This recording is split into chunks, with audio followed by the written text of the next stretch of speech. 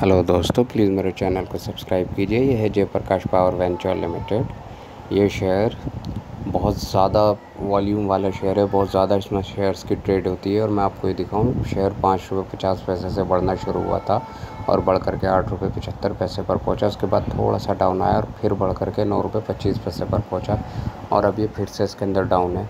एक ही दिन में देखिए कितना ज़्यादा डाउन आया है, लेकिन क्या है कि शेयर थोड़ा सा डाउन आता है और फिर अब जाता है। तो इस शेयर पर भी वही है कि हमें थोड़ी सी इस पर नज़र बना करके रखनी होगी। थोड़ा सा जिस दिन से बढ़ना शुरू होगा, तब इसमें इन्वेस्टिंग का टाइम आएगा। ये शेयर गिरते इसलिए हैं क्योंकि जिस लोगों, जिन लोगों ने, मान लीजिए सात रुपये पचास पैसे पर लिया होगा तो वो नौ रुपये पच्चीस पैसे पर इसमें शेयर प्रॉफिट बुकिंग करेंगे। उसके बाद ये बुकिंग करते हैं तो सेल ज़्यादा होती है तो इसलिए फिर डाउन आता है। तो अभी ये डाउन है। लोग प्रॉफिट बुकिंग कर रहे हैं, लेकिन इसमें हमें इन्वेस्टिंग का सही टाइम मिलेगा। तब इसमें इन्वेस्ट किया जाएगा। शेयर की इन्फॉर्मेशन की ऐसी वीडियोज़ के लिए प्लीज़ चैनल को सब्सक्राइब कीजिए। Thank you.